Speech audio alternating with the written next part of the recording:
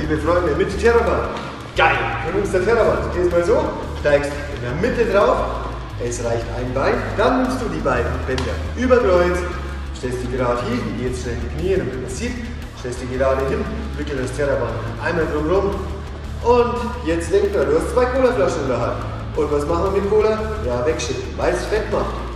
Und du stellst sicher, dass dein Daumen immer nach unten zeigt und der Ellenbogen nach oben.